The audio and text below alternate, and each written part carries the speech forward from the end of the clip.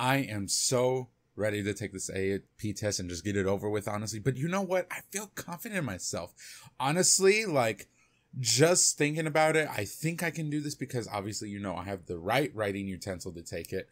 Um, I've been talking with my professor after class, making sure that I understand the concepts that we've been covering. I think that I understand pretty much everything from the textbook. I have been going over every other practice uh, AP exam. You know what? We're going to do just fine here. Right? Um, on Wrong.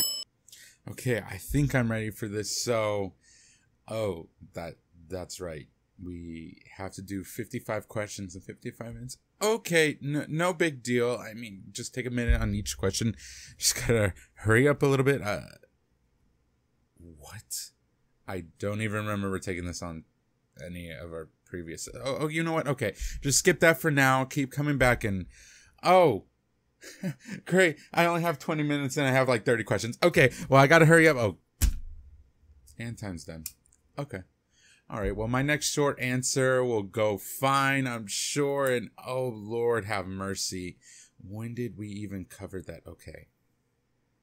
You know what? My DBQ can't be that bad, nor can my long essay, right? Because I at least really want a three. And you know what? I'm going to be stressing now because I've been doing this class for so long now. I have actually been doing good in the class. So I don't understand why I am freaking struggling with this test. You know what? Let's just keep going. Let's just keep going. I'm just going to keep going. I'm going to be determined and everything's going to be, oh, What the fuck? Okay, so yes, I know that was a very corny intro to do. I honestly didn't even know that was a spontaneous intro. A lot of things have been kind of spontaneous, and this video, I did not know if I was gonna make, honestly, because I was just, I didn't know if I should have obviously made this video in the first place because I am mostly a gaming channel, but some of y'all have told me, hey, I really like your ranting videos, so you should keep doing them from time to time. So I was like, you know what?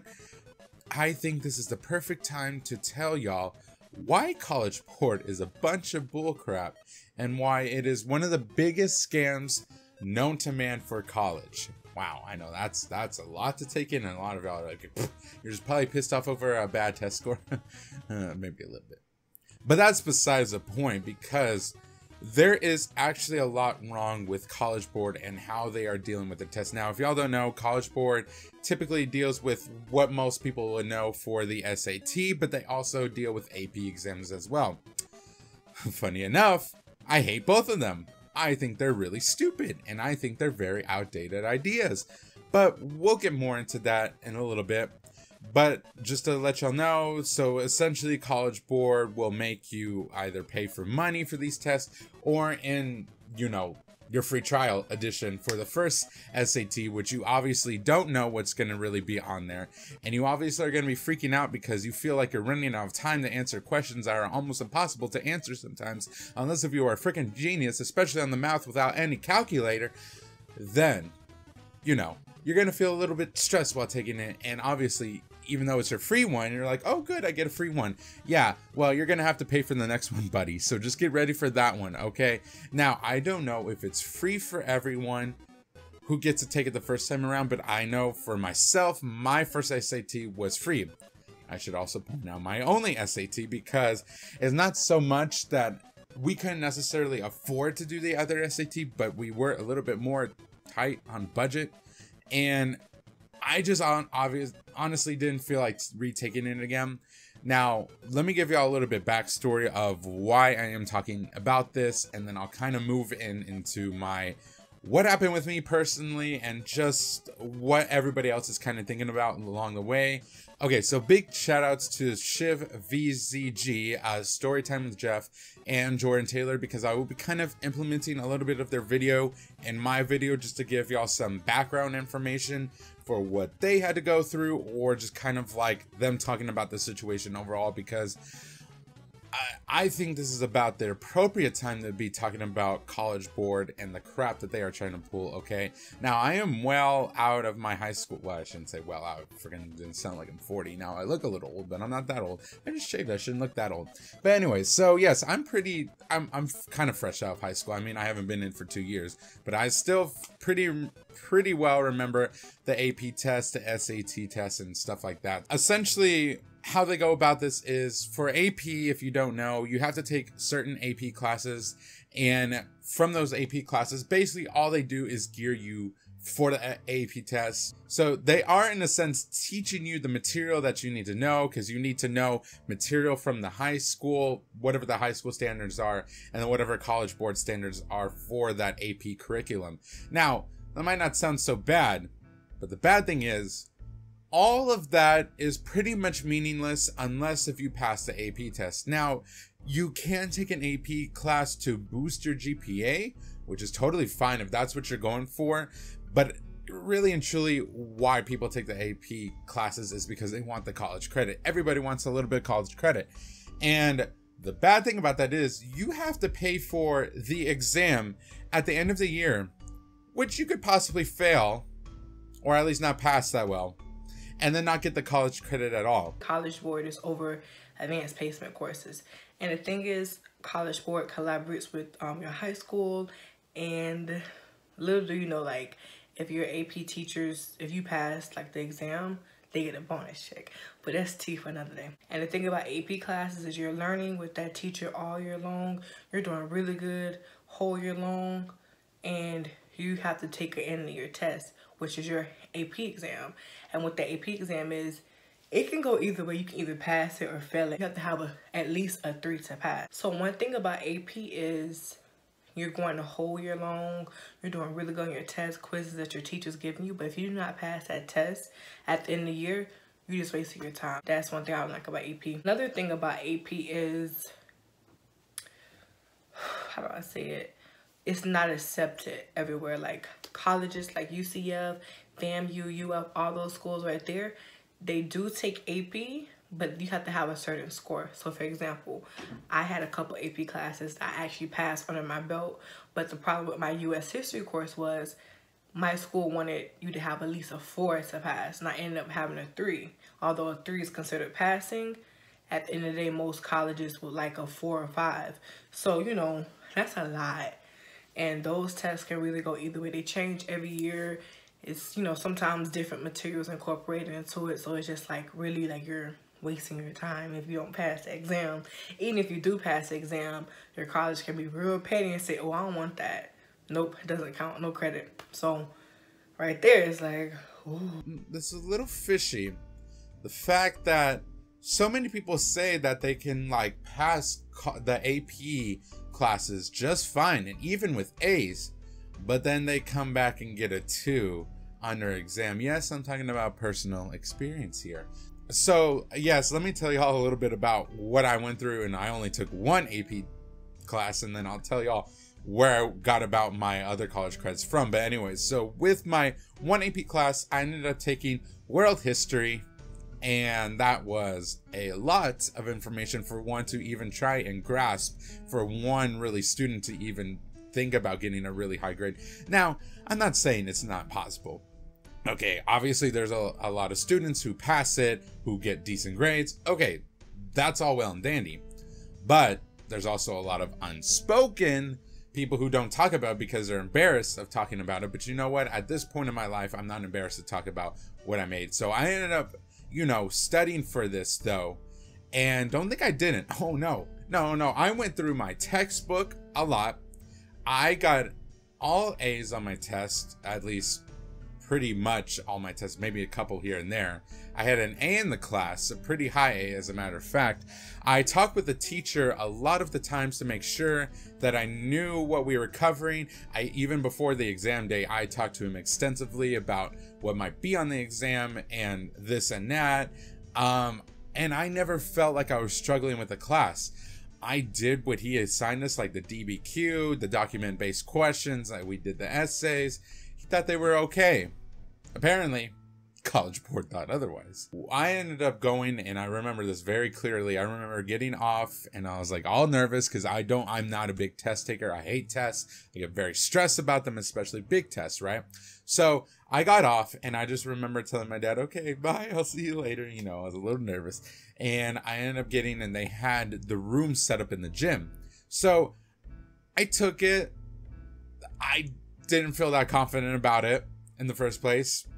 Didn't feel really confident about afterwards. So I ended up taking it, and lo and behold, after a while, I found out I got a two, which, if y'all don't know, a two basically means, oh, yeah, even though you have an A in the class and you actually excelled in the class, we're not going to give you the college credit because you need a three at least. Explain to me how one test defines your overall college credit when colleges don't even do that themselves. Now, you know, if you take a test in college, obviously you can't redo that test either. And it's going to account for a big portion of your grade, whether it be like 15% or 20%. And it might be even multiple tests, though.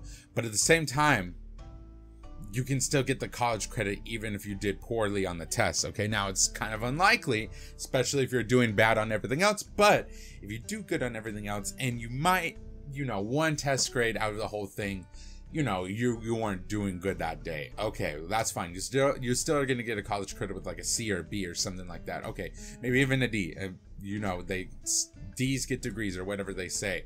So it is what it is with that but with ap classes apparently you need to pass a full test to get the college credit. Okay so that to me is strike one on their part. I don't even understand how that is applicable to colleges. That's not setting you up for college. That's setting you up for failure okay? That's setting you up for stress. And i know that i was hella stressed when i first took that and i did my first ap class in sophomore year. So i'm very glad i got um that out of the way to experience it and to be like oh crap this is not for me the ap is not for me so you know what i ended up doing i ended up doing dual credit because dual credit was so much freaking better for me i took a I took like a social science at TCC and my, with my dual enrollment. And I did really good the entire semester, but I failed the final. I still passed the class, but I failed the final. So if I actually did that class with advanced placement, if I did really good the whole time and failed the final or the college exam and the the AP exam, I would have not gotten credit. You know, top dual enrollment, dual enrollment is a lot more accepted. Dual enrollment most colleges aren't that picky. So example, when I went to UCF, they took all of my dual enrollment credits, no problem. As long as I passed the class, of course, but still, it really gets you prepared for college too.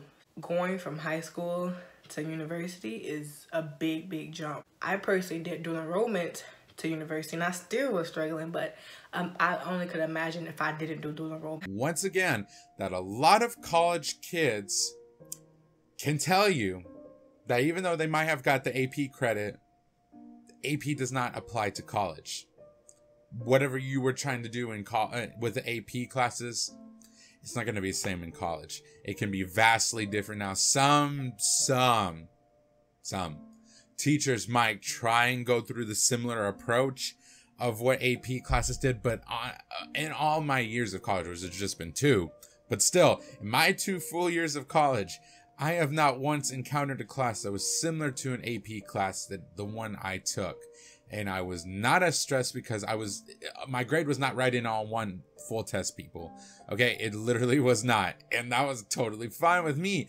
I am very good with getting my work done, with talking in class, with discussions, with all this and that.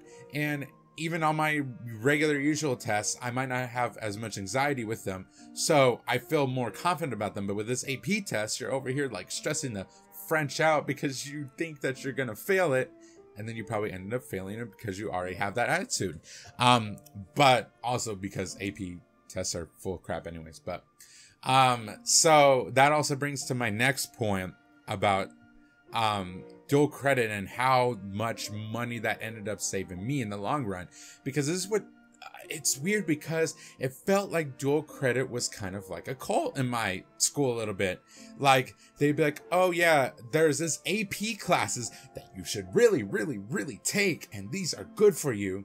And there's IB. Oh, IB is like, this is gonna be, if you do this, you're awesome, even though it's almost impossible for a lot of students to do. But if you do this, you're going to be one of the best students ever to excel out of here and you're going to be doing great things and stuff like that. And they'll be like, oh, and uh, yeah, this little thing over here, yeah, that that's dual credit. I mean, if you want to take it, you can. So it was never really that pushed.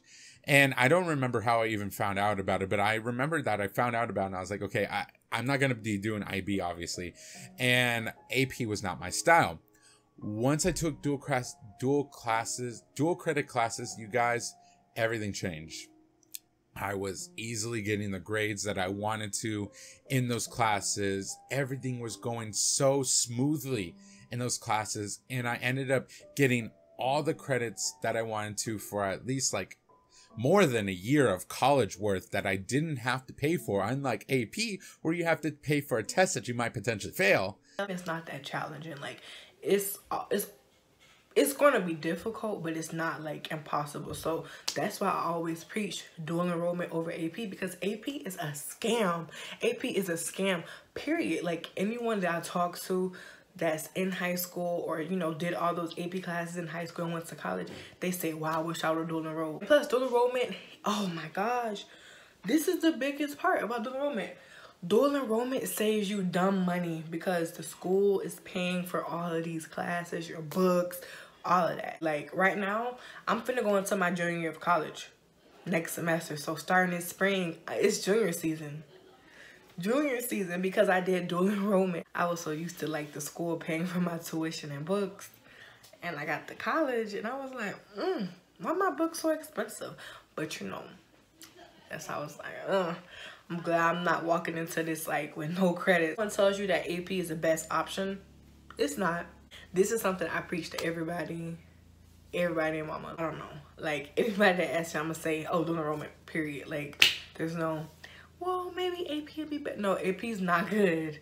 Waste of time. Like and then I I ended up going to college with a 4.0 because of it. Now, granted, the only downside for like dual credit classes is the fact that um if you do bad with the grades, that is the grade that's going to stick with you through college, okay? So there is that. That's kind of bad, but at the same time, if you're pretty com if you feel like you know what, I can do the classes, I feel pretty confident in them. It's just the test that was bugging me yeah, dual credit is the obvious answer to go with, and that for me was way easier. And now, let's talk about the SAT a little bit. Okay, now that is more bullcrap than the AP test. Think about it. They're a monopoly that makes money exclusively off of exploiting misled children. They make tests that aren't actually indicative of academic achievement and then sell them by the millions because they're a necessary part of college admissions. And the tests themselves, they might as well have been written and organized by a lobotomized orangutan snorting crack and bashing his head into a typewriter. For example, the length of your SAT essay is actually a better indicator of your score than its actual content. In addition, College Board regularly administers tests that have been leaked and available for years, indicating that they're either too stupid to Google leaked SAT exams and look to see what's up there, or they're too lazy to write a new test to replace the leaked one, so they just recurve the test and screw over all the kids who took it. Let me tell y'all something. The SAT is such an outdated test, and it even has origins to it being racist as well. And let me just show y'all a little bit about what I'm talking about. You want to know another fun fact? The SAT had its origins in a test that was meant to prove that minority groups were genetically too stupid to be educated. Here's a direct quote from Michael Brigham, the creator of the SAT. The Army mental tests, which were tests he helped design, had proven beyond any scientific doubt that, like the American Negroes, apologies for the language, the Italians and the Jews were genetically ineducable. It would be a waste of good money even to attempt to try to give these born morons and imbeciles a good Anglo Saxon education, let alone admit them to, into our fine medical, law, and engineering graduate schools. He also said that the reason he designed these tests was to prevent, and this is a direct quote again, the continued propagation of defective strains in the present population, otherwise known as, again his words, the infiltration of white blood into the Negro. And apologies for the language again. Not the nicest guy, if you ask me. Look, I know the SAT today isn't the same one that Brigham created, but it's not like the College Board has even bothered to address the fact that the SAT had its origins in a white supremacist movement. This passiveness is still morally degenerate, perhaps more so than if they were actually anti-minority. So I'm still going to give them flack for it. So from now, those facts, from that fact alone, all right, we already have a big issue with how um, the SAT came about and why it's even still present today. Now, obviously, it's not in the same format that it was those years ago, but it's still pretty relevant to the situation now and today. And the fact that so many colleges rely on this SAT, this one test, to sometimes determine whether you get in or not is a bunch of bull. Why are we so fixated on one test rather than the overall student? Okay. Now, let me tell y'all a story about the SAT. I did take it one time, and like I said before, I didn't want to pay more money to take another one because, I mean, again, it's not that we couldn't, but they were still a little bit pricey, and I just didn't feel like going through that bullcrap again. And again, I studied for this test too. I made sure that I read through the book that you they told you that you get, which, huh, lo and behold, is another thing you needed to buy for the SAT. Wow um, or for a college board in general, really. So you could buy the book, and then you could sometimes have tutors, which you know tutors are offered here and there, um, specifically for the SAT. Um, of course, you can keep retaking it as much as you want. You just, of course, pay out of your pocket and all that crap. So I didn't feel like taking it again. So I tried to go in as confidently as I could for this SAT. Now, what I got on my SAT, I can't tell y'all because honestly, I don't even remember at this point exactly what I got. But I believe it was like an 1100, which is okay, but it's not the best. Okay, it's about it's about above average ish, but most colleges are like, yeah, that we don't want that. Okay, so because of the SAT. I could not get into the college that I originally wanted to get into. Now, the reason why that is so stupid in the first place is because I was in the top, and I'm not trying to gloat here, but I'm just trying to give y'all a little bit of perspective. I was in the top 9% of my class. I had over a 4.0 GPA. I was in so many extracurricular activities and clubs, and I was even president of two of them. Okay all of this, I mean, you know, I tried to do everything that a college would look for. I mean, obviously, you know, I just want to do good myself and I love the clubs I was in, but I also was trying to, you know, prepare myself to get ready when I had to apply for college. So I ended up getting kind of turned down by the college that I really, really wanted to go to. And they basically said, well, you know, you can go to here, but first you got to go to one year over at our sister college, and then you can come over to here, and then we'll, we'll kind of think about you. But first of all, Jordan ain't nobody's second choice. Okay, Jordan is definitely not anybody's second choice. And then, second of all, I got an offer to a college that was even closer to me that offered way better scholarships and grants than the college that I wanted to go to. And now I love this college that I'm going to. So it was a blessing in disguise but at the same time, it pissed me off that one test, the one SAT test that I took, and obviously I could have kept taking it over and over again to get a better grade, that's so much money to put into one stupid test. One of their claims I took particular issue with was the fact that they're technically a 501c3 nonprofit, just like the Red Cross and yet they made 900 million and paid their CEO 1.455 million in 2016. After seeing this horror for myself, I took to Twitter and as soon as College Board made a tweet, I was there to reply asking them why they made 900 million a year in spite of the fact that they were a nonprofit. This crusade was short-lived, however, because just 2 days after I started responding to College Board tweets, I got IP banned from Twitter and had my account deleted without warning. When I went to log into my account, it said that it didn't exist. Even searching my account name on Google turned up no results. Nothing in my email gave an explanation for why my Twitter had been deleted or even told me that it had disappeared. I had never had any strikes against me before. My Twitter had actually been pretty inactive until I started responding to College Board. So this was the only possible reason for the ban, as crappy and corrupt a reason as it was. It was as if my Twitter had not only ceased to exist, but all traces of it have been completely wiped off the face of the earth for good. The moral of the story is don't support College Board if you want to have a clean conscience. But just one test out of everything that I've done in my whole high school career, it defined where I was going to go, even though I was making the good grades and even though, you know, I was in the top 9% of my class out of one of the biggest classes that our high school has known, by the way. Um, that they just still didn't accept me because of that test. Now, I don't know about y'all, but something ain't right here.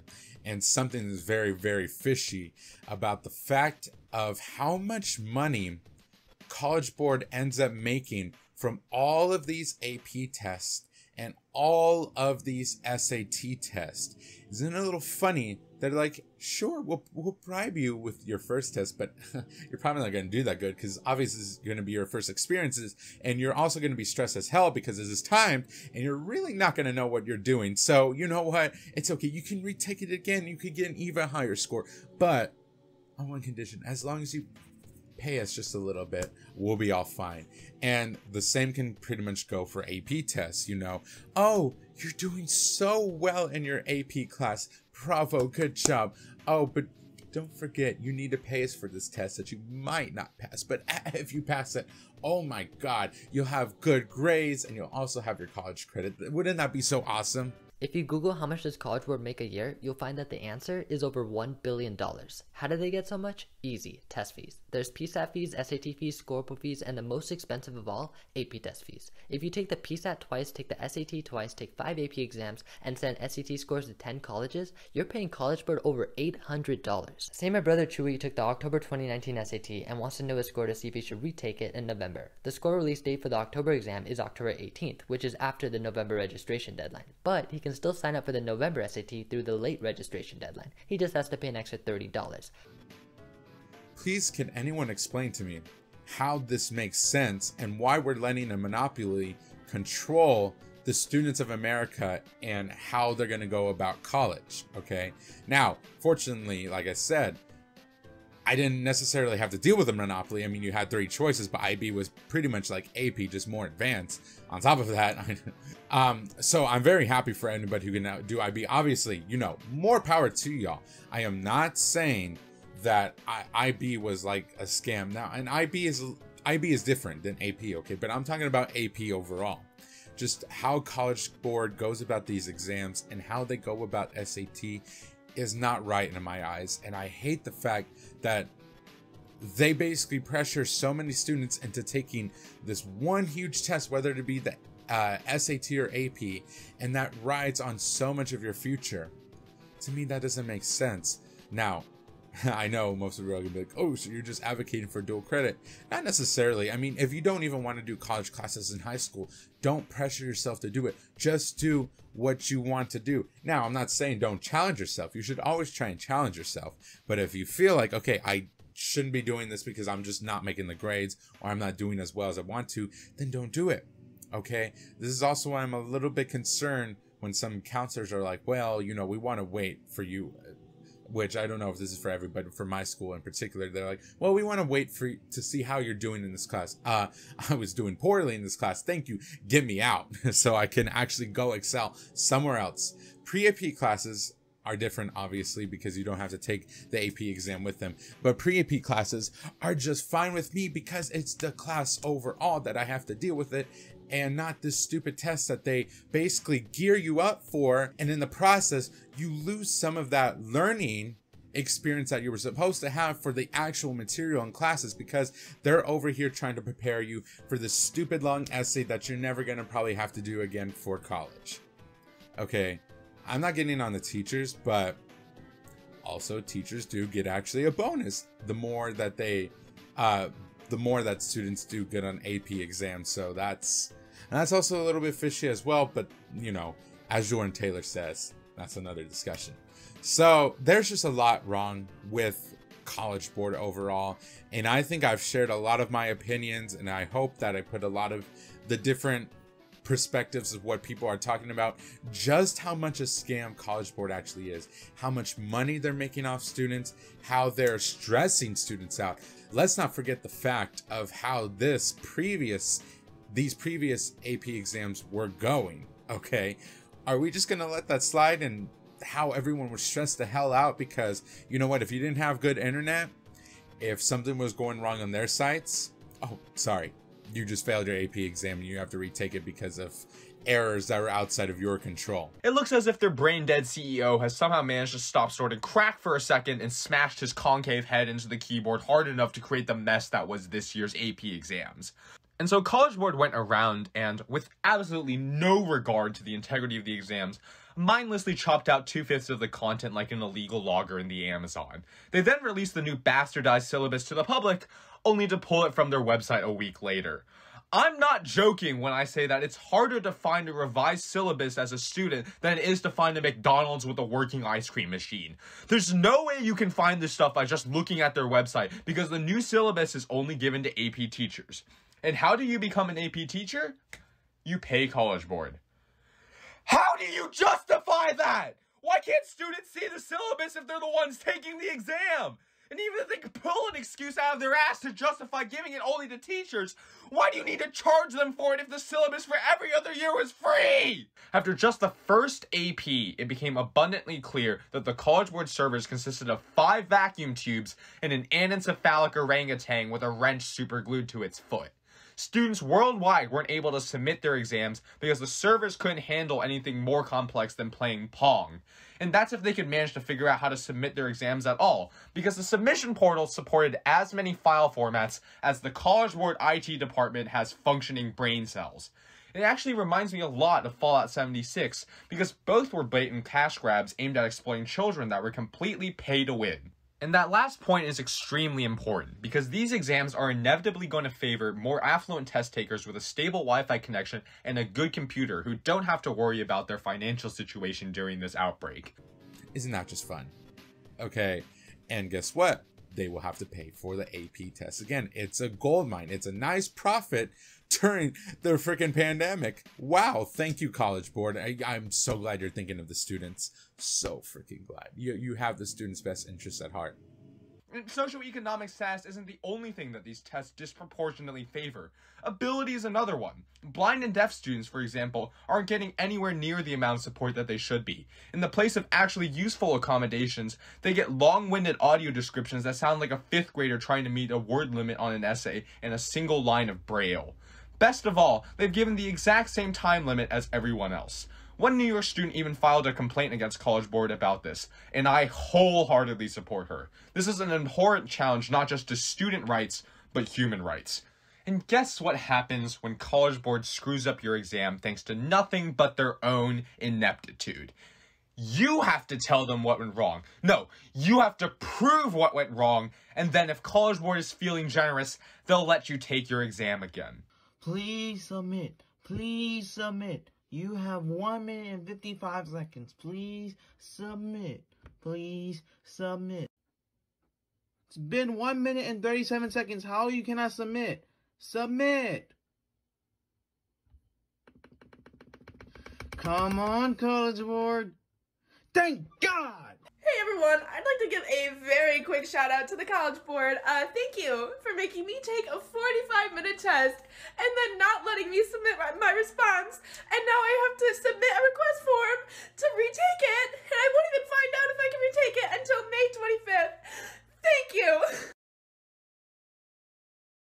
So, anyways, guys, I know I've been ranting on a long time, but I just need to rant um, because I've been seeing more and more videos about College Board, about AP tests, about SATs, and a lot of them really resonate with me. And the funny thing is, a lot of them are coming out more recently than ever.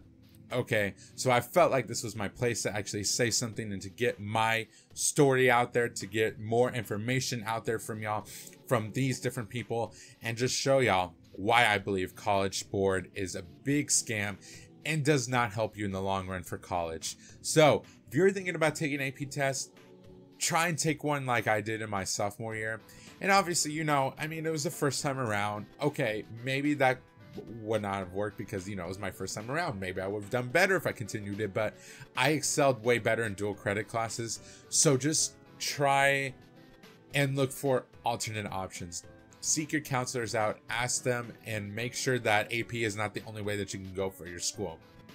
Because if it is, maybe you're just better off doing regular classes and just doing excelling in those. Because you know what?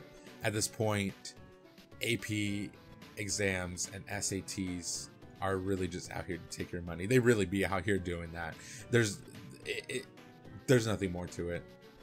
That's it. Bottom line, honestly.